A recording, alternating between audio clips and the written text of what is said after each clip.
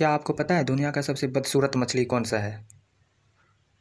नहीं पता है तो चलिए मैं बता देता हूँ। ब्लोफिश। ब्लोफिश एक गहरे समुद्र में रहने वाली मछली है, जिसे दुनिया की सबसे बदसूरत मछली कहा जाता है। हालाँकि यह लोकप्रिय धारणा में एक मिथिक है। ये वे वास्तव में अपने सामान्य वातावरण में किसी भी अन्य मछली की तरह दिखते हैं।